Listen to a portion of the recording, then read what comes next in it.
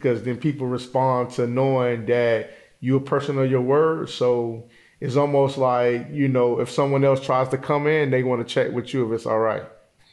you know what I mean? Like, hey, hey, Pastor Duncan, you know such and such. I don't know them. They counterfeit. But they say they know you. I don't care.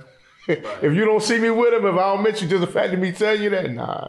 Because it's even in Gainesville, you know, research and service learning, all of these particular things is almost like, okay, we're just doing it only because, but then we don't bring nothing and we don't leave nothing. It's nothing sustainable.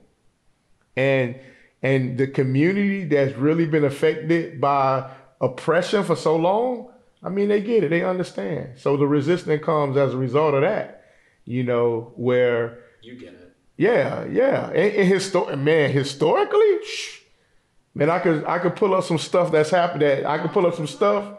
I've heard some crazy stuff about this town. Yeah. Oh, it's real. I got I got I got clippings. Oh, we gonna have to see that. I got I got newspaper clipping and archives that all around the country. Right.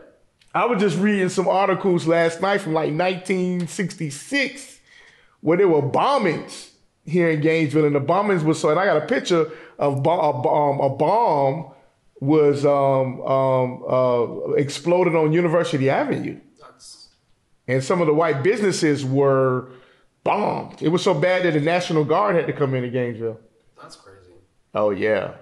It was huge. Oh man, yeah. But you ain't gonna hear about because a lot of this stuff is like, you know, you got to go deep into the archives. I found some stuff. You know, on the University of Florida campus. Right, right. Yeah, I mean, I got some stuff. I got some stuff, and and all of it was connected, related because during that time, Reverend Wright, who was a civil rights leader, he marched with MLK. He was in St. Augustine, and it was just so bad because they started a revolution in St. Augustine, and then when MLK left and he got assassinated, then the Klan was like, "Nah, we're gonna get all y'all up here out of here," and he ran because his his life was threatened, and he had you know kids and you know, so they came here, and it just so happened that the church was looking for a pastor, and so they invited him to come and be the guest speaker.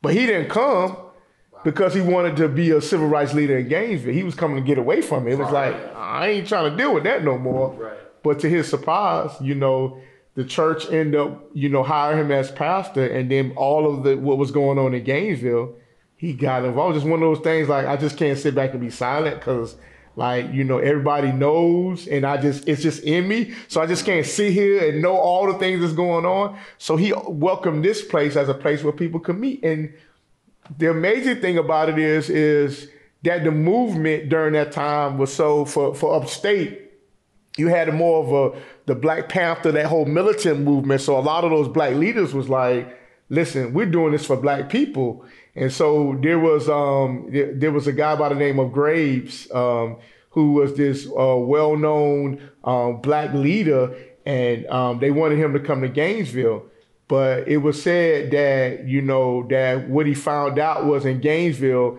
that the local groups were diverse right? And so he was like, I'm not coming to Gainesville to speak to no mixed congregation of people mixed people. I'm coming to speak to the black people. And then Reverend Wright said, well, if he's not coming, you know, to speak to this group of people who are our allies who are much a part of this fight, then we don't want them to come because that ain't godly. So we can't say we just want a movement and you just want you to come and you go speak to black people. We can't do that because, I mean, you know, we got University of Florida professors who were going to jail. You know what I mean? They was they were literally standing up. You had students that was standing up. So why would he say no? You know, they can't. They're not allowed to be a part of this when it was just kind of like one community. So